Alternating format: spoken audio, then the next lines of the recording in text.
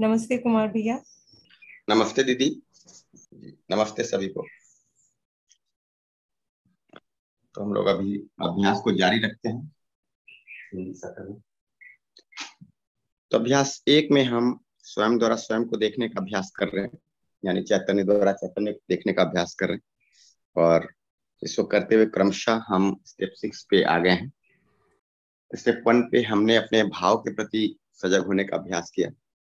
Step to में ये देखने का प्रयास किया कि जो मेरे अंदर भाव है, वो मुझे सहज रूप से स्वीकार है कि नहीं। स्टेप थ्री पे हमने ये देखने का प्रयास किया कि जो उसके साथ मेरी स्थिति है, वो सुखद है कि नहीं। तो स्टेप फोर में हमने ये देखने का प्रयास किया कि उस भाव का निर्णय कौन ले रहा है। मैं स्वयं या बाहर की कोई परिस्थिति या कोई अन्य व्यक्ति। तो दिखता है कि निर्णय तो मैं ही लेता हूँ, ना कोई बाहर की परिस्थिति, ना कोई अन्य व्यक्ति। उससे दो महत्वपूर्ण निष्कर्ष निकले। एक तो मुझे अपने ऊपर काम करना है। ना, अपनी योग्यता को बढ़ाना है। और दूसरा, उससे मैं शिकायत मुक्त होता हूँ दूसरों के प्रति। उससे मैं अपनी अतीत में जो पीड़ा है दूसरों के प्रति, उससे मुक्त होता हूँ। वर्तमान में जो विरोध बन गया है या बन जाता है दूसरों के प्रति, उससे मैं मुक्त होता हूँ। और भविष्य के लिए भी जो दूसरों को ध्यान में रखकर मैं चिंता करता हूँ उससे भी मैं मुक्त होता हूँ। बल्कि मैं हर समय अपनी ज़िम्मेदारी स्वीकारते हुए, ये देखते हुए कि मैं अपने सुख दुख के लिए हंड्रेड परसेंट जिम्मेदार हूँ। अपने ऊपर काम करने के लिए तत्पर रहता हूँ। स्टेप फाइव में हमने देखा कि इस भाव का मैं निर्णय ले रहा हूँ, उसका आधार क्या है? समझ या मान्यता? तो पता चलता है कि यदि मान्यता कोई आधार में रहती है तो मेरे सुख की निश्चितता नहीं होती, निरंतरता नहीं होती। परंतु यदि समझ आधार में होता है तो निश्चितता होती है, निरंतरता होती है। इसको देखते हुए फिर स्टेप सिक्स में हमने इस बात को देखना शुरू किया कि अल्टीमेटली क्या समझना है।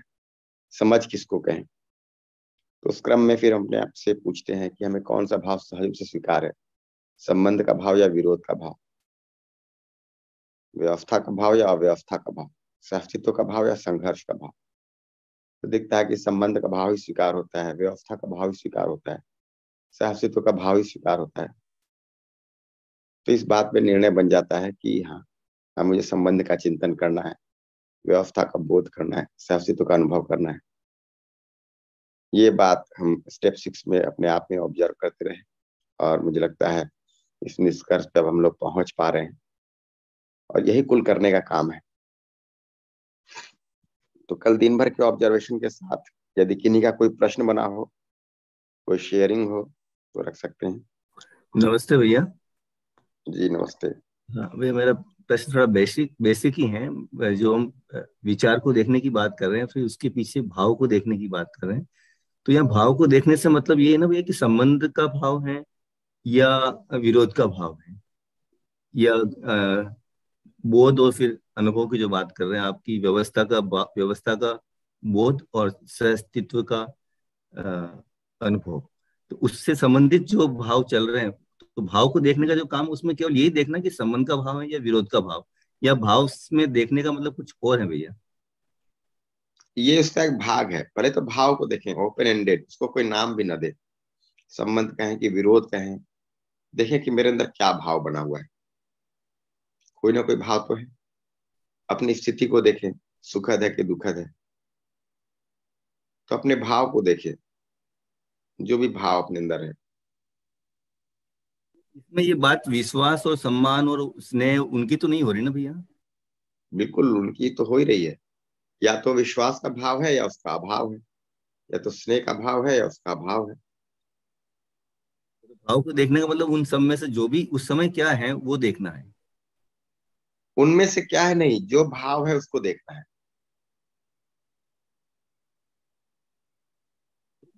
उनके अलावा भी कोई भाव होगा भैया? हाँ बिल्कुल। शरीर के प्रति संरक्षण का भाव है, पोषण का भाव है। तो ये तो जो विश्वास सम्मान है तो मानव मानव संबंध का भाव है। परंतु शरीर के प्रति कोई भाव होगा? कमरे में रखी हुई वस्तुओं के प्रति कोई भाव होगा? अपने प्रति कोई भाव होगा? जी। स्पष्ट हुआ? जी। भैया जी, ये मूल्य और भाव में अंतर है क्या? भाव मूल्य भी हो सकता है और मूल्य आधारित नहीं भी हो सकता है। तो मूल्य वो भाव है जो सहज रूप से स्वीकृत है। परंतु विरोध का भाव, ये मूल्य तो नहीं है, परंतु है तो एक भाव। तो भाव जो कह रहे हैं, सबको जोड़ के कह रहे हैं, चाहे वो मूल्य धारित हो या ना हो। परंतु मूल्य अपने आप में निश्चित है। विश्वास एक मूल्य है, सम्मान एक मूल्य है। परंतु अविश्वास होना, शंका होना, भय होना, विरोध होना, ये सभी तो भाव है। भले मूल्य ना हो। पहले पहले भाव आता है फिर उस हम उसी आधार पर विचार करते हैं। हाँ तो भाव रहता है हमारे अंदर उसी भाव को लेकर हम विचार करते हैं। और वही उसी भाव को जांचने की बात हो रही है कि भाव हमें सहज रूप से स्वीकार है कि नहीं। तो जो भी भाव है उसको देखें हम अपने अंदर। अच्छा जैसे कभी कभी कहते हैं ना कि नेगेटिव थॉट हाँ। तो तो ये सहज स्वीकृति नहीं है नेगेटिव थॉट यही कहने का मतलब है। नेगेटिव थॉट के पीछे नेगेटिव फीलिंग है। हाँ। कोई फियर है जैसे नेगेटिव थॉट्स कब आते हैं? जब हमारे शंका भय विरोध इस तरह का चीज़ रहता है। हाँ हाँ। ठीक तो नहीं कभी कभी मोटिवेशनल स्पीच टाइप के होते हैं और ऐसा कुछ होता है। तो खैर वो काम तो नहीं करता उतना लेकिन यही है कि अब कहा जाता है कि हमेशा पॉजिटिव सोचिए तो लेकिन कभी कभी वो हो नहीं पाता है उस तरह से सोचना हमेशा। देखिए यहाँ तो नहीं कह रहे हैं कि पॉजिटिव सोचिए ना कोई मोटिवेशन दे रहे हैं। यहाँ तो कह रहे हैं कि अपने भाव को देखिए जांचिए और उसमें परिमार्जन करिए। अच्छा। पॉजिटिव सोचने की तो बात ही नहीं कह रहे हैं। आप क्या विचार करें, क्या विचार ना करें, इस पर तो कोई बात ही नहीं लिखी जा रही है। यहाँ तो सिंपली भाव को देखने की और सह स्वीकृत भाव को पहचानने की और उस अर्थ में निर्णय लेने की बात हो रही है। देख, क्या होता है ना, हम बहुत सारी चीज़ें सुनते रहते हैं वो आपस में मिक्सड अप हो जाती हैं। तो यहाँ जो बातें कही जा रही हैं, अगर उसको हम स्टेप बाय स्टेप देखते चलें तो क्लैरिटी बनेगी। अगर हम उसमें चीज़ों को मिक्सअप कर देंगे, जैसे अभी पॉजिटिव थिंकिंग नेगेटिव थिंकिंग है ना, और ये सब ले आएँगे तो फिर ये स्टेप्स में हम आगे नहीं बढ़ेंगे फिर वो उसमें हम गोल गोल घूमते रहेंगे कहीं ना कहीं। और जो पहला स्टेप है भाव को देखने का वही रुक रुक जाएगा। ये अगर पहले स्टेप पे ही नहीं काम हुआ भाव ही नहीं देख पाए हम तो आगे के स्टेप्स तो पूरे होंगे ही नहीं।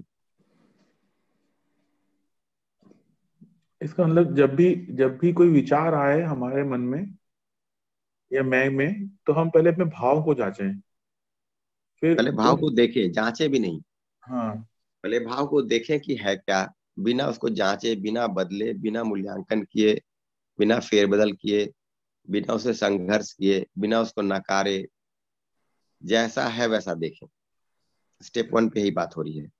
अच्छा फिर उस उसके बाद भैया फिर भाव को देखने के बाद फिर हम देखें कि वो सहज स्वीकृति है उसकी नेचुरल एक्सेप्टेंस है या नहीं है? हम्म। अगर उसकी नेचुरल एक्सेप्टेंस है तो फिर हम आगे बढ़े और नहीं है तो उन्हें रोक दें मतलब उस भाव को ले उस भाव को लेके कोई विचार ना करें ऐसा नहीं। रोकने की तो बात ही नहीं हो रही है। हाँ। फिर ये देखें कि भाव का निर्णय किसका है? नहीं निर्णय तो मैं ही ले रहा हूँ ना।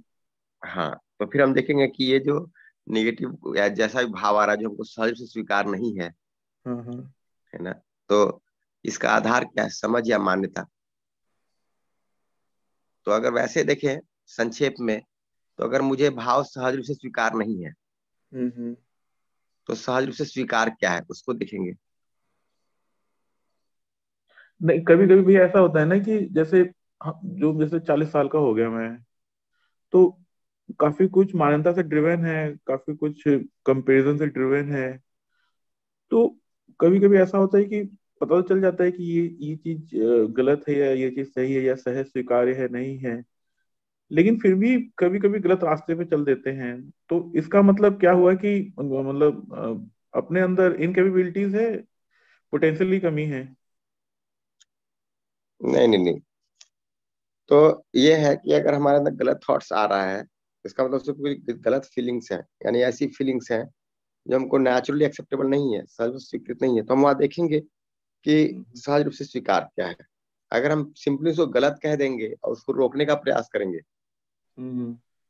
तो वो तो जाएगा नहीं क्योंकि उसका परिमार्जन तो नहीं हुआ ना। मूलतः मुझे अपने भाव में परिमार्जन करना है ना कि रोकना है बदलना है कोई दूसरा भाव आरोपित करना है नहीं परिमार्जन करना है। अगर ये भाव सहज रूप से स्वीकार नहीं तो सहज रूप से स्वीकार क्या है?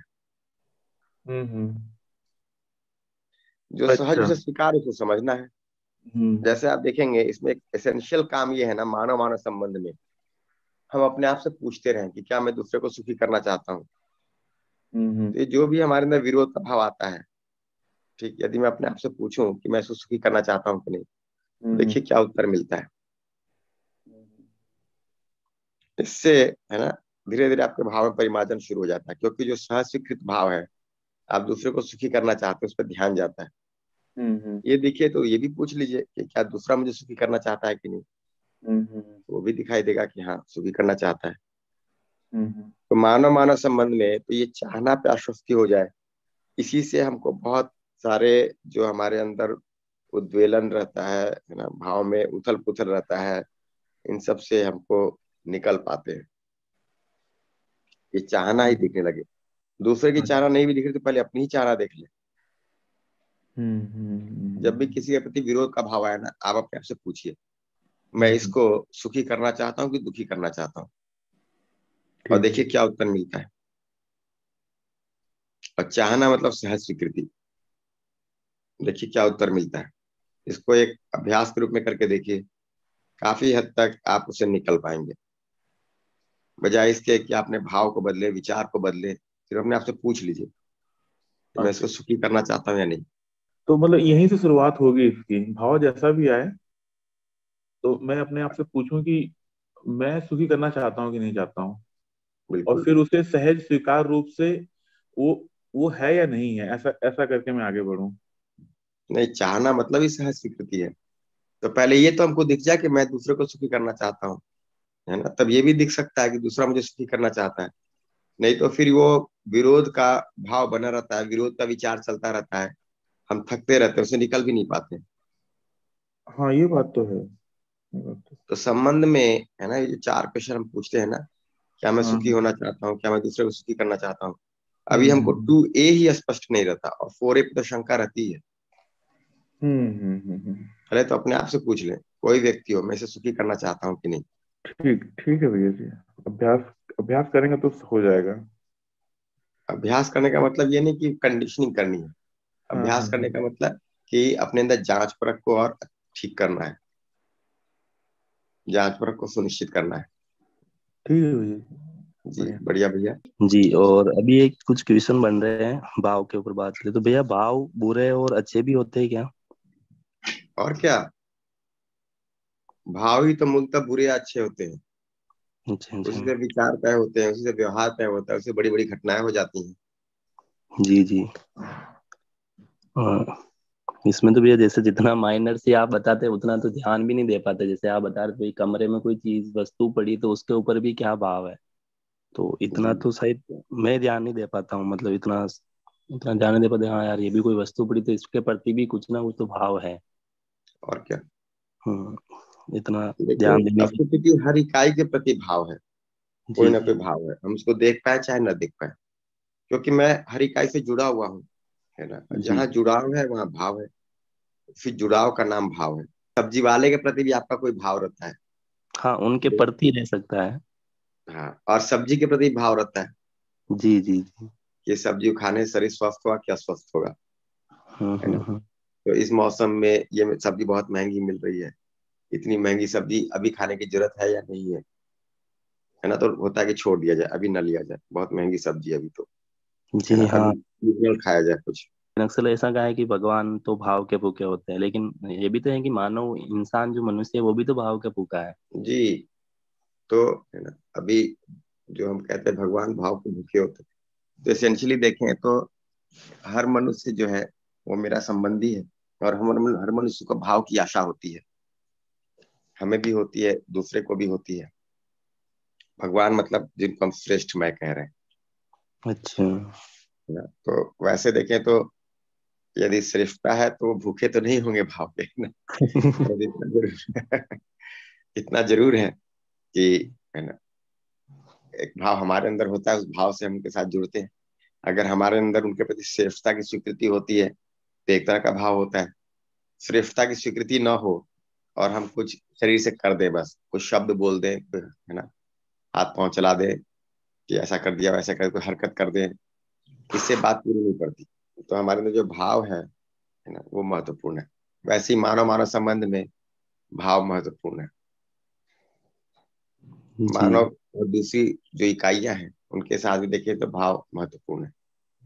आप सुबह उठे ठीक और आपने घड़ी देखी तो घड़ी को देखकर आपका एक भाव हो सकता है कि वाह सुबह हो गई अब चलो है ना काम करते हैं। दूसरा भाव हो सकता है। फिर सुबह हो गई। इतनी जल्दी रात बीत गई। है ना? और सोना चाहिए था। तो उस घड़ी को देखकर भी भाव बनता है। ठीक कमरे के सामान को देखकर ही भाव बनता है। यही सोफा देखो पिछले छह साल से पड़ा हुआ है। ठीक नहीं लग रहा है इसको बदल देना चाहिए। तो उसके प्रति हमको भागीदारी क्या लग रही है? सोफा के प्रति इसको बदल देना चाहिए। दूसरा भाव सकता है इतना बढ़िया सोफा है, छह साल से चल रहा है है ना? अभी लगता है छह साल और चलेगा। ये दूसरे तरह का भाव है। जी, प्रकृति की इकाइयों के प्रति देखें तो उनके प्रति या तो हमारे अंदर संवर्धन का भाव होता है, संरक्षण का भाव होता है, सदुपयोग का भाव होता है, या इसके अन्यथा होता है। शरीर के प्रति देखें तो पोषण का भाव होता है, संरक्षण का भाव होता है, सदुपयोग का भाव होता है, या अन्यथा होता है। तो उनके प्रति भाव है, मेरा क्या होगा, है ना? मैं सुखी रहूँगा, नहीं रहूँगा? मेरे विचारों में शांति होगी नहीं होगी ये अपने प्रति भाव रहता है। जी भैया। है ना? जी इसमें तो जैसा आप बताते हो इतनी छोटी छोटी चीज़ों पर तो मतलब इतना ध्यान देने की ज़रूरत है पहले तो। ध्यान नहीं दे पाते हैं। ऐसा होता है सब नींद खुलती है तो कभी कभी तो ऐसा लगता है कि हाँ चलो यार टाइम पे नींद खुल गई कभी ऐसा लगता है बस रात हो भी गई पता नहीं चला। तो वो भाव तो उस टाइम भी लेकिन चीज़ यही होती है कि भाव तो चल ही रहे होते हैं लेकिन ध्यान नहीं दे पाते। ये अच्छे से पकड़ में आया कि ध्यान देना बहुत ज़रूरी है। जी भैया। हाँ तो इसको हम एक एक करके देखें। हम्म, आप हम्म। जो कमरे में जितनी चीज़ें पड़ी है ना उसको देखिए। इसके प्रति क्या भाव है मेरा?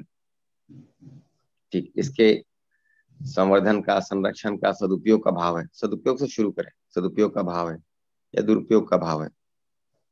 हमारे पास कपड़े हैं है ना? इन कपड़ों को लेकर क्या भाव है हमारा? इनके सदुपयोग का भाव है या या आउट ऑफ़ फ़ैशन हो गए हैं इनको डिस्कार्ड किया जाए नया कपड़ा लिया जाए ऐसा भाव है। फर्नीचर है घर है गाड़ी है ये सब चीज़ें देखिए हमारे अंदर क्या भाव है उनके प्रति? जी भैया। तो इससे व्यवस्था का भाव भी स्पष्ट होगा हमको। निकायों के साथ ही मेरा एक संबंध है और ये व्यवस्था में भागीदार भी है इससे व्यवस्था भी स्पष्ट होगी। इनके साथ संबंध भी स्पष्ट होगा। तो मानव मानव में भी संबंध है, मानव शेष प्रकृति में भी संबंध है। जहाँ संबंध है, वहाँ भाव है। ये जो स्टेप वन पे बात कह रहे हैं ना, भाव के प्रति सजग होना, ये मुख्य काम है। ये एक बार होने लगे तो फिर यदि बाकी स्टेप से क्लैरिटी है तो आप उसको पूरा करते जाते हैं। परंतु यदि भाव ही स्पष्ट नहीं है तो सारा सारा काम जो है अपना ये पेंडिंग पड़ा रहता है। फिर हम विचारों में ही जीते रहते हैं विचारों में घूमते रहते हैं। ठीक है भैया? जी भैया बहुत बहुत धन्यवाद। आज मतलब इतनी गहराई से मैं वो देख पाया कि हाँ ध्यान देने की ही कमी रह रही है भाई। भाव तो कहीं ना कहीं सभी जगह बना हुआ है तो आप इस पर और ध्यान देने की मैं काम करूँगा थोड़ा। धन्यवाद। बढ़िया भैया। हाँ भैया जी नमस्ते। एक एक सवाल दो सवाल है मेरा। आ, एक तो मेरे को ये जानना है कि जैसे हम प्रकृति कहते हैं ईश्वर कहते हैं भगवान कहते हैं दो तीन वर्ड हैं तो भगवान तो ये हो गया जो श्रेष्ठ है मतलब जिसमें भाव या मूल्य जिसके मूल्य मतलब जिसको सारे मूल्यों की पहचान है ऐसा कुछ? हाँ जिसमें मूल्य का ज्ञान है सिर्फ़ पहचान ही नहीं समझ है। और फिर प्रकृति और ईश्वर एक ही है या अलग अलग हैं? और ये क्या है? सामान्य रूप से शून्य को ईश्वर कहते हैं। जो देवी देवता है, वो श्रेष्ठ मैं मतलब हम आप जैसे ही मैं जो श्रेष्ठ हुए, जिनके अंदर संबंध का भाव स्थापित हो गया, व्यवस्था का भाव स्थापित हो गया सहसित्व का भाव स्थापित हो गया, और वो प्रेम और करुणा के भाव के साथ समाज के लिए निर्वाह करते रहे, ऐसे मैं को हम लोग देवी देवता के रूप में या भगवान के रूप में पहचानते हैं। ईश्वर जिसे कह रहे हैं शून्य को कह रहे हैं। जो क्रिया शून्य है जो न तो करता है न दृष्टा है। शून्य है क्रिया शून्य है परंतु हर क्रिया के आधार में। अच्छा तो, भैया हाँ बोलिए भैया जी।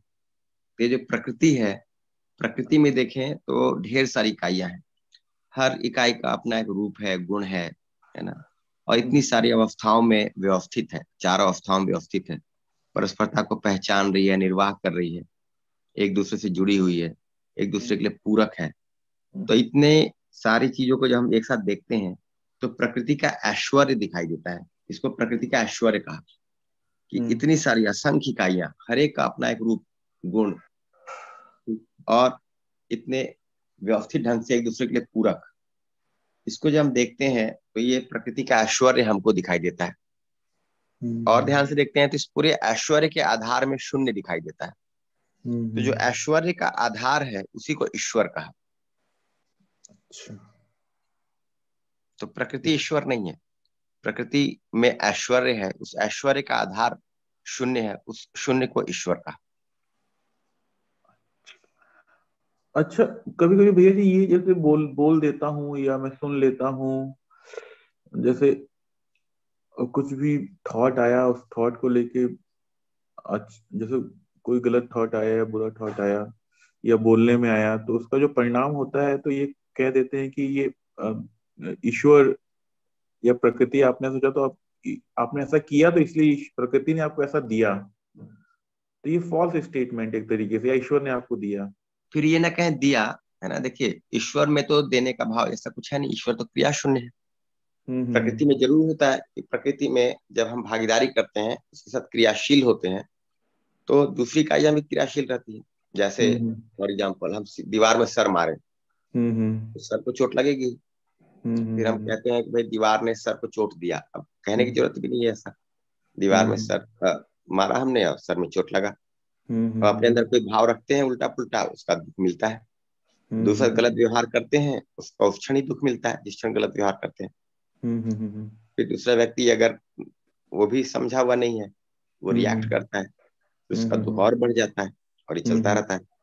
हाँ तो प्रकृति ने दिया किया है ना? ये कहने के बजाय अपने भाव को देखेंगे और अपने निर्वाह को देखेंगे उसका मूल्यांकन करेंगे। तो दिखता है कि यदि मेरे अंदर विरोध का भाव है तो मेरा दुख तो उसी समय से शुरू हो जाता है। मैं उसको एक्सप्रेस करूँ या ना करूँ? जब एक्सप्रेस हम्म। करता हूँ तो दूसरे को भी मैं कई बार दुखी कर देता हूँ कि दूसरा रिएक्ट करता है। तो दूसरा रिएक्ट हम्म। करता है तो मेरी समस्या और बढ़ जाती है तो चलता रहता है। जी। ये हमको स्टेप फोर में जो दिखाई देता है ना कि मैं अपने सुख दुख के लिए हंड्रेड परसेंट जिम्मेदार हूँ। हम्म, फिर जो दूसरे पे ज़िम्मेदारी डालना है ये रुक जाता है। नहीं तो वो स्केप रूट्स है। है ना? हमने ईश्वर का कर देवी देवता का कर प्रकृति का कर कर्मा का कर ठीक? हम्म, कई बार अपने आप को निकालते हैं वहाँ से। ज़्यादा अच्छा कि भाव ठीक हो जाए भाव समझ आधारित हो भाव सहज रूप से स्वीकार हो तो हम ऐसे अनावश्यक स्थिति में फंसेंगे ही नहीं। अच्छा भाई जी मेरे एक और सवाल है। जैसे मतलब जैसे जहाँ भी मैं काम करता हूँ या जो भी मेरे जैसे असिस्टेंट हैं या जो भी हैं तो मतलब मेरे अंदर ऐसा फीलिंग आता है कि मतलब मेरे को ऐसा लगता है कि जैसे मैं उनसे जब प्यार से बात कर लेता हूँ या थोड़ा हंस बोल लेता हूँ तो वो मेरी बात सुनना बंद कर देते हैं और यही मैं देखता हूँ दूसरी तरफ़ की कि अगर कोई बहुत कड़क है या बहुत ही मतलब स्ट्रिक्ट है, उनकी बात तुरंत सुनते हैं। तो जब ऐसा दिखाई देता है तो मन के अंदर ना एक विरोध का भाव कह लीजिए या दुख का भाव कह लीजिए, यार मैंने बताया इतनी देर से कुछ बोल रहा हूँ सामने वाला सुन ही नहीं रहा है और वो बिल्कुल टाइट होके बोल रहा है, उसकी बात सुन ले रहा है। तो मतलब ये चीज़ें नहीं समझ में आती हैं तो यहाँ भाव थोड़ा बहुत विरोध में चला जाता है। जी तो देखिए क्या होता है ना कि कई बार जब किसी के ऊपर शासन होता है या हम्म। दबाव डाला जाता है और बार बार डाला जाता है तो अगले की भी कंडीशनिंग हो जाती है। कि उतना शासन या दबाव देखता है तब वो एक्टिव होता है अन्यथा वो एक्टिव हम्म। नहीं होता। हम्म, तो ये तो ठीक नहीं है कि हम शासन करें या दबाव डालें है ना जो अगला व्यक्ति कर रहा है। बट यदि हम सिंपली उनको शासन को हटाकर दबाव हटाकर अपने व्यवहार को रोक देते हैं वहाँ पे उसके आगे नहीं बढ़ते। या हमने उसको थोड़ा सरलता से बात कर लिया ये कर लिया परंतु ये बात पूरी नहीं पड़ी। तो अगले व्यक्ति की जो कंडीशनिंग हो गई है वो तो वहीं से देखेगा ठीक है इनका काम ना भी करें तो ये गुस्सा नहीं करेंगे। जो गुस्सा हाँ, करेंगे कर देते हैं। है ना? तो हम वहाँ पे नहीं रुकेंगे बल्कि हम उनके और आगे जाकर उनके साथ निर्वाह में समझ के लिए काम करेंगे। तो हम दबाव या शासन नहीं डालेंगे है ना? एक बात। हम्म। दूसरी बात कि हम उनके साथ सिंपली कुछ मीठा बोलकर कुछ अच्छा बोलकर अपने निर्वाह को वहाँ रोक नहीं लेंगे। हम्म। बल्कि उनके साथ समझ और भाव को लेकर काम भी करेंगे ताकि उनके अंदर जो कंडीशनिंग है उससे वो निकल पाए। हम्म। अगर ये काम हम ना करें है ना तो फिर कठिनाई होती है। और उसमें भी हम उनके साथ जब ठीक से बात करें तो क्या बात कर रहे हैं ये भी तय होना ज़रूरी है। कई बार हम हल्की बातें कर रहे हैं या है ना? मित्रवत बात कर रहे हैं बट उसमें कहीं लूज टॉक हो जा रहा है। तो फिर वो हम्म। हमारे संबंध को फिर बाधित करता है। तो हम अपनी हम्म। विधि को तो निश्चित रखें कि भाई कोई काम होना है तो होना है। इस विधि से होना है तो इस विधि से होना है। उसको हम निश्चित हम्म। बनाए रखते हैं परंतु उनके प्रति संबंध का भाव भी बनाए रखते हैं। भाई लैब टाइम पे खुलना है तो खुल जाए ना? लैब टाइम पे नहीं खुला उनसे पूछेंगे। उनपे आवेशित नहीं होंगे बट पूछेंगे तो ज़रूर लैब टाइम से क्यों नहीं खुला? है ना? क्या किया जाए ताकि लैब टाइम से खुले? फिर उनकी कंडीशनिंग को इवेलुएट करने के लिए उनको हम तैयार भी करेंगे ताकि उनके समझ बने। बढ़िया भैया।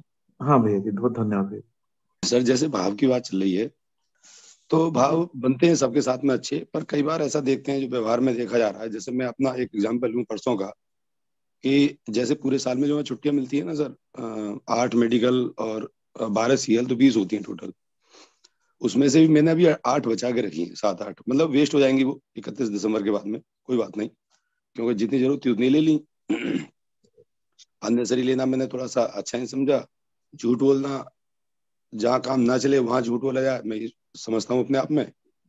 बाकी लोगों देखते हैं तो बाकी सारी छुट्टियाँ ले चुके हैं। किसी ने कोई नहीं छोड़ी है।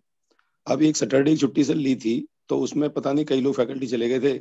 अचानक तो डायरेक्टर ने सबका एल लगा दिया। ये बात मुझे काफ़ी बुरी लगी। मैंने उससे बात भी की सर, मैं तो कभी छुट्टी ऐसे लेता भी नहीं। और हमेशा इमरजेंसी में ही कभी कोई लेता हूँ और वो भी पहले परमिशन लेके गया हूँ। दो हफ़्ते पहले बात कर रहा था। समझाने की कोशिश की। तो सर ने बड़ा अच्छा रिस्पॉन्स दिया। बोले, सर, मैं, आप लेबोरिश हैं, आप अच्छे हैं, सब कुछ ठीक है। बट एक्शन लेना पड़ता है तो अगर आपकी करूँगा, फिर सबकी करनी पड़ेगी। तो ऐसा कहीं घटना अगर होती है, सर तो कहीं ना कहीं अब इसे विरोध कहो या क्या कहो या मन दुखी तो होता है। इसको कैसे मतलब समझा जाए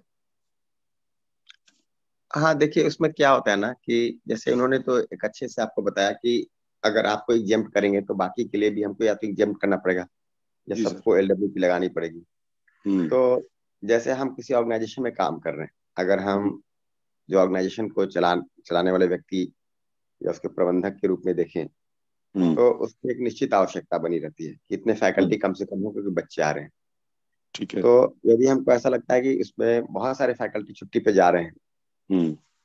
तो हम इस भाव के साथ देखेंगे कि हाँ उस दिन संस्थान कैसे चलेगा अगर हम्म। कोई टीचर ही नहीं होंगे तो। और हम्म। ये तो जो प्रबंधक है उनकी ज़िम्मेदारी होगी कि कोई ना कोई एक्शन तो लेंगे ताकि टीचर्स आए। तो हम यदि कोई छुट्टी ले भी रहे हैं और हम किसी ऑर्गेनाइजेशन में भागीदार हैं तो उस ऑर्गेनाइजेशन की व्यवस्था को देखते हुए छुट्टी लेंगे। सर देख के ही लिया था। ये दो हफ़्ते पहले बात करके तब मैंने छुट्टी ली थी ऐसा नहीं रेंडमली ली हो। जी। कई बार तो मैं तबीयत भी थोड़ा सा जैसा अभी भी खराब है पर आज भी जाऊँगा। ऐसा नहीं है कि मैं अपनी तरफ़ से पूरी कोशिश रहती है बट कहीं ऐसा लगता है कि जैसे हम बेवकूफ़ हैं बाकी लोग अपनी पूरी छुट्टियाँ ले लेते हैं दे आर जस्ट एंजॉइंग तो मतलब इसको कैसे जबकि मैं थोड़ा सा पढ़ता रहता हूँ और एक सब्जेक्ट पढ़ाने भी लगा हूँ हिंदी वाली का तो पढ़ के काफ़ी रिलीफ मिल जाता है अपने आप को समझ में आ जाती हैं चीज़ें। और ये जो रिएक्शन वाली बात होती है वो थोड़ा सा कम हो जाती है। बट ऑनेस्टली आपसे मतलब इस चीज़ को मैं शेयर कर रहा हूँ कि हाँ कल मुझे थोड़ा सा बहुत काफ़ी बुरा लगा था। इवन यहाँ तक सोचा था कि मतलब इस तरह का भी माहौल नहीं है तो why to work here why not resign ये जो भाई जैसे अगर हमको उनकी स्थिति समझ में आए हम्म। उनका निर्णय भी समझ में आता है ऐसा निर्णय क्यों लिया? हाँ इससे बेहतर हम्म। निर्णय हो सकते थे।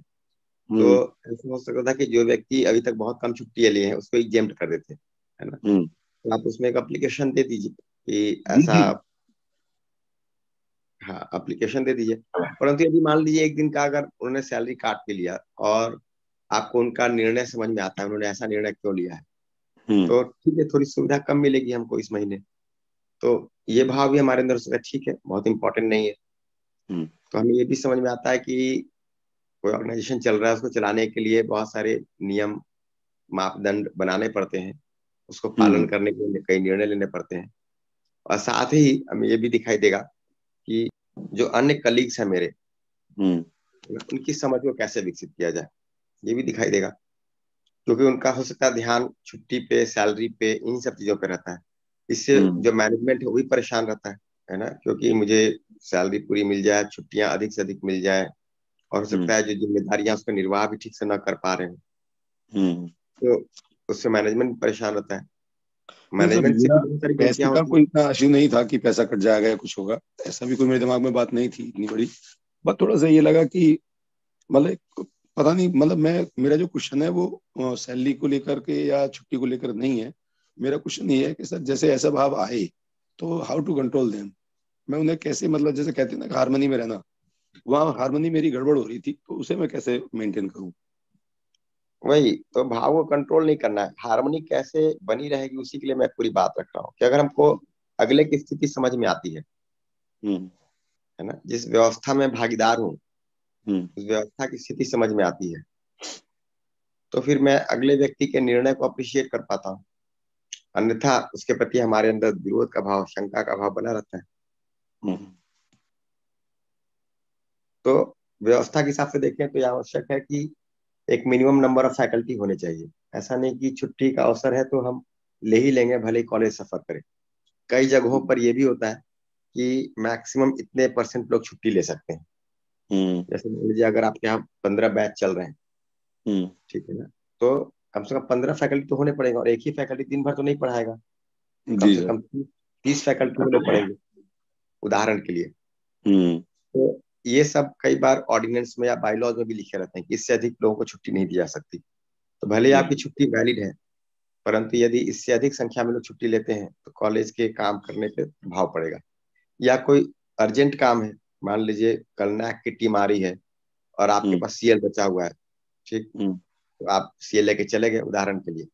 हम्म। तो ये भी ठीक नहीं है क्योंकि हमको जो ऑर्गेनाइजेशन की नीड है वो समझना ज़रूरी है। तो हमें अपनी भी आवश्यकता देखनी है और जिस व्यवस्था में भागीदार है उसकी भी आवश्यकता देखनी है। तो कई बार क्या होता है हमारी प्रायोरिटी सिर्फ़ ये बन जाती है आपके लिए नहीं परंतु अन्य कलीग्स के लिए कि भाई हम्म। हमारी आवश्यकता है और हमें प्रोविज़न है तो हम तो उसका प्रयोग करेंगे। हम्म। ठीक? तो मैकेनिज्म को ऐसा भी ऑर्गेनाइजेशन डिसाइड करता है कि ठीक है अगर आप इस रूप में निर्णय लेंगे तो हम ऐसा निर्णय लेंगे। छुट्टी काट देना या लगा देना। या सस्पेंड कर देना इस तरह के निर्णय लिए जाते हैं। तो अगर हमको सारी बातें समझ में आती है तो हम खिन्न नहीं होंगे दुखी नहीं होंगे उस बात से। हम्म। और उसमें एक अच्छी बात है कि जैसे आप उदाहरण के लिए सोचें कि आपके हम्म। अंडर भी दस लोग काम कर रहे होंगे हो सकता है। ठीक? आपको कोई ज़िम्मेदारी दी जाएगी कल एक इवेंट करना है। दस में से आठ लोग छुट्टी पे चले जाएँ क्योंकि छुट्टी का प्रोविज़न है। हम्म। और इवेंट बिगड़ जाए। तो आप अगले दिन कुछ तो सोचेंगे कि मैं कैसे आगे से ऐसा न होने दू। हम्म। आप भी तो सोचेंगे। बिल्कुल सही सर। बट सर आजकल थोड़ा सा ऐसा मैं देख पा रहा हूँ क्यों जब से ये आ, मैंने भाव रखे हैं तो थोड़ा सा मैं अपने आप को ज़्यादा समझा लेता हूँ और थोड़ा सा कोशिश करता हूँ कूल रहने की। बट कई बार ना दूसरे लोगों पर भी मतलब इम्पैक्ट कहो या उसे कुछ भी कहो दूसरा समझने को तैयार नहीं होता कई बार। आप उसे अगर इस तरह से समझाते हैं सर ने क्वेश्चन किया था अभी पिछली बार कि आप प्यार से समझाते हैं तो दूसरा आदमी समझने तैयार नहीं है। पहले जैसे स्ट्रिक्ट एक्शन ले लेते थे तो थोड़ा सा चीज़ें कंट्रोल हो जाती थी जल्दी। इवन चाहे वो आप फैमिली में ले लें या वर्क प्लेस पे ले लें कहीं का भी एग्ज़ाम्पल ले सकते हैं। तो ऐसे में भी क्या मतलब कर सकते हैं? क्या मैं स्ट्रिक्ट एक्शन नहीं लेना चाहिए? जो बेसिक काम है ना ये जो हम अपने आप उलझे रहते हैं। हम्म। ठीक इससे तो बाहर निकलना है। इसके लिए अपनी समझ के लिए निष्ठा पूर्वक सतत काम करने की ज़रूरत है। कई बार एक गैप हो जाते हैं। तो अगर हम अपनी समझ पे काम ना करें तो हमारे व्यवहार में हमारे आचरण में भी जो दूसरे तक मैसेज जाता है तो बहुत तृप्तिदायक नहीं होता। हम्म। हमारे जीने को देखकर। तो फिर अगला व्यक्ति हमसे आराम नहीं पाता। आराम नहीं पाता तो परेशान भी होता है परेशान करता भी है। तो ये जो काम है ना कि हम अपने समझ पे काम करते रहे। तो एक वर्कशॉप का लेना तो ठीक है। सूचना मिल गई प्रस्ताव मिल गया थोड़ी जाँच परख होने लगी। परंतु अपने अंदर तो जाँच परख चौबीसों घंटे चलना ज़रूरी है। वो काम अगर हम रोक देंगे वो काम नहीं करेंगे तो फिर ये जीने में सब समस्याएँ तो लगी ही रहेंगी। परिवार के अंदर समाज के अंदर जिस संस्था में काम कर रहे हैं वहाँ पर ये सब लगा ही रहेगा। जी सर धन्यवाद। बढ़िया भैया। अभी थोड़ा कंटेंट को आगे लेके चलते हैं फिर और प्रश्न लेंगे इस पे। तो स्टेप सिक्स तक जाँच परख करते हुए और जितने तरह के प्रश्न है सारे वैलिड हैं। जब हम अपने अंदर भाव को देखने जाते हैं है ना तो फिर साथ ही सारे प्रश्न बनते हैं उन पे समाधान होना ज़रूरी है। समाधान होना ज़रूरी है।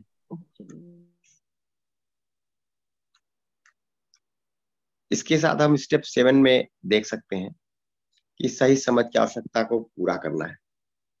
तो स्टेप सिक्स ए में हमने देखा कि हमें संबंध, संगीत अथवा व्यवस्था और सहस्तित्व का भाव ही सहज स्वीकार होता है। स्टेप सेवन में ए में ये बात कह रहे हैं कि हमें यह सुनिश्चित करने की आवश्यकता है कि मुझमें इस क्षण संबंध का भाव है, न कि विरोध का। संगीत यानी व्यवस्था का भाव है, न कि अंतर विरोध का, अव्यवस्था का। सहसित्व का भाव है, न कि संघर्ष का। तो इसको सुनिश्चित करना है। कि मेरे अंदर संबंध का भाव बना रहे, व्यवस्था का भाव बना रहे सहसित्व का भाव बना रहे। यदि मैं इस क्षण इन सहज भावों को सुनिश्चित कर पाता हूँ तो मैं इस क्षण संगीत में रहता हूँ, सुखी रहता हूँ। उसी प्रकार यदि मैं हर क्षण इन सहज भाव को सुनिश्चित कर पाता हूँ तो मैं हर क्षण संगीत में रहता हूँ, सुखी रहता हूँ। तो स्टेप वन पे हमने भाव को देखना शुरू किया। स्टेप सेवन ए में कह रहे हैं ये भाव ठीक हो जाए, सहज हो जाए, सुखद हो जाए, संबंध का भाव हो, व्यवस्था का भाव इसको सुनिश्चित करना है। सुनिश्चित करने का मतलब आरोपित नहीं करना है, बीच के सारे स्टेप से गुजरना है। ऐसा नहीं कि विरोध का भाव बन रहा है तो उठा के उसको हम सोचेंगे संबंध का भाव ही बना देना है, ऐसा नहीं। उसको हम जांचेंगे, परखेंगे, अपने आप में देखेंगे। उसके लिए जो एक बात मैंने कही कि हम अपने आप से पूछें, जब भी मानव मानव संबंध की बात हो। कि क्या मैं दूसरे व्यक्ति को सुखी करना चाहता हूँ या दुखी करना चाहता हूँ? इसको अपने आप से पूछें। ये जितनी देर तक आपको स्पष्ट रहेगा, आपके अंदर उसके प्रति विरोध का भाव या तो नहीं होगा या धीरे धीरे घटता चला जाएगा। संबंध का भाव बढ़ता चला जाएगा। इस बात को हम अपने आप में देख पाए कि मैं धरती के हर मानव को सुखी ही करना चाहता हूँ। तो ये जो दूसरे को लेकर इरिटेशन एंगर है, ये घटेगा। विरोध का भाव है है ना? संघर्ष का भाव है, ये घटेगा। अगर ये दिख जाए कि दूसरा मुझे सुखी करना चाहता है सहज रूप से, इसकी आवश्यकता ही नहीं बनेगी। शंका, भय, विरोध होगा ही नहीं। परंतु ये दिखता नहीं है कई बार स्पष्ट रूप से। तो यहाँ से शुरू करें कि क्या मैं दूसरे को सुखी करना चाहता हूँ? किसी भी क्षण, किसी व्यक्ति का विचार कर रहे हैं, अपने आप से पूछ लीजिए। आज इस अभ्यास को दिन भर करके देखिए और देखिए क्या आपकी स्थिति बनती है। आप पाएँगे आपके भावों में जिस क्षण आप इस बात को अपने आप से पूछते हैं, अगर मानव मानव संबंध की बात करें, आप में परिमार्जन शुरू हो जाता है। वैसे कोई सुविधा की बात हो, आप देखिए, मैं इसका सदुपयोग करना चाहता हूँ, दुरुपयोग करना चाहता हूँ। है ना? इसका संरक्षण करना चाहता हूँ या इसको मिटा देना चाहता हूँ, बेकार, बर्बाद कर देना चाहता हूँ। तो ये अपनी भागीदारी को देखना शुरू करिए तो ये भाव धीरे धीरे आपके अंदर स्थापित होंगे। तो मानव मानव संबंध के लिए एक अभ्यास के रूप में है कि जिस भी मानव के साथ व्यवहार करें, जिस भी मानव का विचार करें, अपने आप में पूछ लें, क्या मैं इसे सुखी करना चाहता हूँ या नहीं? और आपकी स्थिति में एक परिमार्जन शुरू हो जाएगा, एक परिवर्तन शुरू हो जाएगा। तो ये स्टेप सेवन ए के लिए बात कही जा रही है कि हमें अपने अंदर संबंध का भाव सुनिश्चित करना है, व्यवस्था का भाव सुनिश्चित करना है सहस्तित्व का भाव सुनिश्चित करना है। अब ये शब्द है, संबंध, व्यवस्था सहस्तित्व इन शब्दों का कोई अर्थ है उस अर्थ में जाने के लिए कहीं से शुरू करेंगे? तो भागीदारी से शुरू करेंगे। भागीदारी में क्या सुनिश्चित करेंगे? तो उस भाव को पहले अपनी भागीदारी को पूछ के देखेंगे। तो यहाँ से शुरू करेंगे, स्टेप बाय स्टेप चलेंगे तो धीरे धीरे ये भाव हमारे अंदर सुनिश्चित होने लगेंगे। अदरवाइज़ सिंपली एक आशा बनी रहेगी और उसके बाद निराशा भी बनेगी। देखो, अभी तक नहीं हुआ, अभी तक विरोध का भाव चल रहा है, अभी तक गुस्सा आ रहा है, अभी तक मैं प्रभावित हो रहा हूँ, उससे कुछ निकलेगा नहीं। है ना? तो अपने ऊपर सटीकता से काम करना है। तो ये एक अभ्यास हम करें, अपने आप से पूछ के देखें, क्या मैं दूसरे को सुखी करना चाहता हूँ या नहीं? और जितनी देर आपको स्पष्ट रहेगा, उतनी देर आप पाएँगे आप आराम में रहते हैं। या उसके आगे काम करते हैं सुखी करने का मतलब क्या हुआ? सुख होता क्या है? इन सब मुद्दों पे आप ध्यान देंगे तो आपके अंदर जाँच परख और तीव्र होगा और शार्प होगा। जी, नमस्ते भैया, नमस्ते सभी को। भैया एक कॉलेज में ऐसे इंसिडेंस हुआ कि एक कमेटी फॉर्म करनी है, हमें एक काम मिला है, उसके अंडर एक कमेटी फॉर्म करनी थी। तो दो एक लोग आए, उन्होंने कहा कि, मैम, हम आपके साथ काम करेंगे कमेटी में। ऐसे उन्होंने विलिंगनेस दिखाया। तो विलिंगनेस दिखाया, उस उस क्षण तो हमें अच्छा लगा। अरे, चलो, उन्होंने हमारे ऊपर भरोसा किया या हमारे साथ काम करने में इच्छा दिखाई अच्छा लगा। और जब वो चले गए, फिर दूसरा भाव हमें ये आया क्यों दिखाई होगी इच्छा या क्या हो सकता है? क्योंकि क्या हुआ ना कुछ पास्ट एक्सपीरियंसेस या कुछ पास्ट ऐसी कुछ घटनाएँ हुई, होती है। आ, उसकी वजह से फिर हमें लगने लगा कुछ ऐसे तो कुछ रीजन नहीं होगा क्यों दिखाया होगा? ऐसे कुछ भाव आने लगे। तो यहाँ पे फिर हम खुद को समझने लगे भैया कि संबंध तो संबंध का भाव तो बना था विश्वास भी था। तो क्या हम इसे कह सकते हैं कि थोड़ा हम भरोसा के भरोसा मतलब चेक करना चाहते थे या क्या हो सकता है? क्यों ऐसे भाव आया भैया? ये समझना था। हाँ तो उनके हम कॉम्पिटेंस का इवेल्युएशन तो करेंगे ही कि वो आकर वो कमिटी हम्म। में शामिल हो रहे हैं। तो ऐसा तो नहीं कमिटी में जो इंटरनल डिस्कशन हो रहे हैं है ना वो उसको कहीं बाहर शेयर करेंगे। तो इन चीज़ों को भी हम ज़रूर मूल्यांकित करेंगे। तो विश्वास का भाव बना रहता है कि हाँ चाहना तो ठीक है परंतु उसकी कंडीशनिंग हो सकती है गलत। हो सकता है उस कमिटी का पार्ट बन रहे हैं ताकि जो भी डिस्कशन हो रहे हैं, उसमें जो भी बातें हो रही हैं, उसको बाहर ले जाए, किसी को कहें, किसी को शेयर करें। इतनी बातों का मूल्यांकन तो करेंगे ही। सतर्क भी रहेंगे अगर कुछ ऐसा हो सकता है। साथ साथ काम करने इन सब बातों का ध्यान रखना तो ज़रूरी तो ये तो ठीक है। परंतु इसको हम आराम से करेंगे, है ना? परेशान होकर नहीं करेंगे। यदि हमारे अंदर संबंध का भाव क्योंकि ना समझ है, इस तरह की हरकतें करते रहते हैं।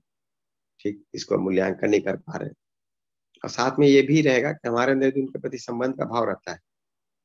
तो उसके साथ हम उनके उनको कंफर्टेबल करेंगे। ये जो उनके अंदर विरोध का भाव बन गया अगर कहीं से, जिसके कारण वो इस तरह की हरकत कर रहे हैं तो वो कैसे रिजॉल्व हो, उस पर भी काम करेंगे। तो ऐसा हो सकता है ऑर्गेनाइजेशन में काम करते हैं, ऐसी घटना, स्थिति, स्थितियाँ बनती हैं, उसमें हम थोड़ा सतर्क रहते हैं, अगले व्यक्ति का मूल्यांकन सटीकता से करते हैं। परंतु तो स्नेह के भाव के साथ उनको फिर अपने से जोड़ने का उनके अंदर परिमार्जन करने का प्रयास भी करते रहते मतलब हम भाव तो अच्छे बने थे बट हमें सिर्फ़ यही सोच रहे थे कि थोड़ा अलर्ट रहेंगे या जो भी है। अच्छी बात है जुड़ रहे हैं अच्छा लगा हमें बट ठीक है एक दूसरा व्यू भी हमें देखना पड़ेगा ऐसे हम सोच के। मतलब हम कंफर्टेबल थे हम ज़्यादा डिस्टर्ब नहीं हुए। ये एक था भैया। और दूसरा ये पूछना है ना, हम थोड़े दिनों से देख रहे थे कि हम खुद में चेक कर रहे थे कि हम कहीं प्रभावित तो नहीं होते, किन किन चीज़ों से प्रभावित हो रहे हैं या ऐसे कुछ देखने का प्रयास कर रहे थे। तो हम थोड़ा ये भी समझ पाए भैया कि ऐसे कह सकते हैं कि जब तक आपकी ऊपरी जो मतलब जो कह रहे ना बी वन ब्लॉक जब तक वो जागृत नहीं होगा, तब तक हम कम ज़्यादा कम ज़्यादा प्रभाव में तो रहेंगे किन चीज़ों से। अगर जो चीज़ें सही के अर्थ में चल रही या तो उससे जुड़ा रहना अनिवार्य बनता है, ऐसे कह रहे भैया यहाँ पे? हाँ तो ठीक बात है। तो जब तक हमारे अंदर सही भाव सुनिश्चित ना हो जाए उथल पुथल रहेगी और सही भाव सुनिश्चित करने के क्रम में जो हमको प्रयास करना, अभ्यास करना करेंगे, उसके लिए हम वैसे मनुष्यों के साथ जुड़ेंगे, जिनके साथ पूरकता दिखाई दे, जिनके साथ हमारे समझ भाव में परिमार्जन की संभावना दिखाई दे तो उनके साथ जुड़ेंगे भी। तो ऐसे लोगों को जोड़ेंगे भी। तो स्वयं में व्यवस्था, समझ सुनिश्चित करना और अपने से बड़ी व्यवस्था में भागीदार होना, सबके समझ के लिए काम करना, यही तो कार्यक्रम है, बस इतना ही कुल करने काम है। इसी क्रम में शरीर का रख रखाव करना, इसी क्रम में शरीर के लिए आवश्यक सुविधाओं का उत्पादन करना, है ना? और उसके साथ संबंधों का निर्वाह करना व्यवस्था भागीदारी करना यही कुल करने का काम है। जी भैया थैंक यू बढ़िया दीदी। तो इसको हम अपने आप में देखें हमें सुनिश्चित करना है कि मेरे अंदर हर क्षण संबंध का भाव रहे। तो जैसे बात हुई तो हो सकता है स्टेप वन पे भी हमारा कुछ प्रयास अभी शेष है। अभी हमको भाव स्पष्ट नहीं है। तो वहाँ से शुरू करेंगे कि मुझे भाव स्पष्ट हो। फिर इसको सुनिश्चित करेंगे कि भाव संबंध का ही हो, है ना? कैसे हो तो अपने आप से हम पहले वो जो विश्वास के प्रश्न है, उसको पूछेंगे, क्या मैं सुखी होना चाहता हूँ कि नहीं? क्या मैं दूसरे को सुखी करना चाहता हूँ कि तो मैं सुखी होना चाहता हूँ, ये तो बात हमें स्पष्ट कई बार रहता है। दूसरे को सुखी ही करना चाहता हूँ यह स्पष्ट नहीं रहता। ये स्पष्ट नहीं रहता। और इसको आप अपने आप से पूछ के देखिए, इसमें काफ़ी स्कोप मिलेगा इम्प्रूवमेंट का। कोई व्यक्ति है आपके लिए अनिष्ट भी कर रहा है। ना? क्या, क्या मैं उसे सुखी करना चाहता हूँ? पूछिए। शुरू में आपको थोड़ा इस पे घबराहट भी होगी कि ऐसे तो जो हमें एक्शन लेना चाहिए वो भी नहीं ले पाएँगे। जो अगले का ध्यान आकर्षण कराना है वो भी नहीं कर पाएँगे। ठीक? चीज़ें जो आ, मतलब इग्नोर हो जाएँगी। ऐसे भी भाव आएँगे आपके अंदर। पर तुम्हें सुखी करना चाहता हूँ, इसका आशय भी तब जाकर स्पष्ट होगा कि सुखी करने का मतलब भी क्या हुआ। परंतु अभी यहाँ से शुरू करें, है ना? अपने आप से पूछना शुरू करें। तो आज दिन भर इस अभ्यास को करें, है ना? ऐसे पचास लोग होंगे, जिनके साथ या तो आप इंटरेक्ट करेंगे या फिर आप उनको ध्यान में लाएँगे, आप उनके बारे में सोचेंगे। लिख ले, देख लें। और इसका जो ऑब्जर्वेशन मिलेगा आपको काफ़ी उपयोगी रहेगा। उसको कहीं लिख सके तो बहुत ही अच्छा। कि आप पहले एक ढंग से विचार कर रहे थे। जैसे आपको ध्यान आया, मैं इस व्यक्ति को बेसिकली सुखी करना चाहता हूँ। आपका पूरा विचार भाव बदलने लगता है। आपका निर्वाह बदलने लगता है। घर में ही कोई आपसे अगर ऊँचे स्वर में बात कर रहा है, कोई गलत विधि से बात कर रहा है, आपके अंदर एक तरह का भाव रहता है। उसकी ऊँची आवाज़ को सुनकर भी अलग तरह का भाव रहता है। आप अपने आप से पूछिए, इस व्यक्ति को सुखी करना चाहता हूँ या नहीं? आपका भाव बदलने लगता है। तो अपने अंदर संबंध के भाव को सुनिश्चित करना है व्यवस्था के भाव को सुनिश्चित करना है। बट स्टेप बाय स्टेप चलेंगे। ये तो हो सकता है दो तीन दिनों में हम स्टेप सेवन पूरा कर ले है ना? बट इस भाव को सुनिश्चित करने में तो पूरी उम्र लग जाए तो भी कम है। नहीं। तो इसको अपने ऊपर काम करना है इसको अपने आप में देखना है। When I uh, see my feeling, it is giving me the negative thought only, and I am uh, taking on to myself. This is my mistake. I am not capable of it. So it is going to that end only. So uh, how to come out of this? Uh, this is ये तो मेरा ही प्रयत्न है अब अब clear है ये तो मेरा ही प्रयत्न है आपने तो अभी बताया है कंडीशन मत करो just observe this is my observation and how to come out of that i'm just trying. After attending uh, uh, the morning sessions for uh, three times uh, abhi uh, feeling nishchit nahi hua or feeling of relationship. When i come to that exercise do i want to make myself happy? Do i want to make the other happy? Wo sab to theek hai. But when i come to the current feeling it is taking to my the square one position only. This is this this is my imagination status as of now. वही तो ये steps को ठीक से करने की ज़रूरत है। तो फीलिंग को ऑब्ज़र्व करना। उसके बाद आपको ऐसा आपके शेयरिंग से लग रहा है कि जैसे आप फीलिंग को ऑब्ज़र्व करते हैं हम्म। और वो फीलिंग हमको ठीक नहीं दिखाई देता है तो हम्म। हमारे अंदर फिर डिप्रेसिव थॉट्स आने लगते हैं कि I am not capable I am not है ना समथिंग समथिंग तो ये तो कोई समाधान नहीं हुआ तो स्टेप टू थ्री फोर को पूरा करेंगे तब तो समाधान निकलेगा। हम्म, कि अगर मेरे अंदर संबंध का भाव नहीं बन पा रहा ठीक? तो उसका निर्णय तो मैंने लिया फिर इसका आधार क्या है? मैंने क्या माना हुआ है दूसरे के लिए? उसको ऑब्ज़र्व करेंगे उसको रिजॉल्व करेंगे फिर। तो संबंध के भाव परिमार्जन के लिए प्रयास करेंगे ना कि अपने पोटेंशियल को क्वेश्चन करेंगे। कंडीशनिंग है। तो ठीक ही है। कंडीशनिंग तो होगी ही ना? तभी वो विरोध का भाव बार बार आ रहा है। कंडीशनिंग है जी। बट कंडीशनिंग को ओवरकम करने का तरीका है कि हम राइट अंडरस्टैंडिंग के लिए काम करें राइट फीलिंग के लिए काम करें। अपने हाथ में ऑब्ज़र्व करें कि हमको नेचुरली एक्सेप्टेबल क्या है। हम्म, और उसको अपने आप में इंश्योर करें कि हमारी स्थिति सुखद हो हमारा भाव नेचुरली एक्सेप्टेबल हो उसको इंश्योर हम्म, करेंगे। हम्म, उसके लिए हम्म। मैंने बताया कि हम एक एक भाव को लेकर जाँच परख करेंगे। तो हम्म। विश्वास के भाव को भी अगर हम संबंध में देखें तो आधार विश्वास है। विश्वास हम्म। में भी ये स्पष्ट हो पाना कि दूसरा मुझे सुखी करना चाहता है कई बार दिखता नहीं है तो मैं अपने आप में तो देखूँ कि मैं दूसरे को सुखी करना चाहता हूँ कि नहीं। है ना वही तो उससे मेरा है हाँ उससे मेरा भाव जो है वो फिर परिमार्जित होने लगता है अगर सुखी हाँ। करना चाहती हूँ तो मैं उसके लिए फिर अनिष्ट विचार क्यों करूँगा उसकी हाँ। अशुभ की कामना क्यों करूँगा उसके हाँ। नुकसान पहुँचाने का विचार ही क्यों करूँगा जब मैं सुखी करना चाहता हूँ हम्म, ठीक है ना। तो पहले इस पे काम करें फिर आगे काम होगा। जी। Yes yes thank you nice दीदी समय हो चला है। तो आज हम लोग के लिए ये असाइनमेंट है कि हमें सुनिश्चित करना है और उसमें इस बात को अपने आप में देखना है कि मैं दूसरे को सुखी करना चाहता हूँ कि नहीं। एसेंशियली हम देखें किसी परिस्थिति में किसी व्यक्ति के साथ किसी भी क्षण में मैं चाहता क्या हूँ? सुखी करना दूसरे को या दुखी करना? ये देखना है अपने आप में। बहुत ही बढ़िया। आज इस अभ्यास को हम करेंगे। बहुत सुंदर। सभी को धन्यवाद। सभी को नमस्ते।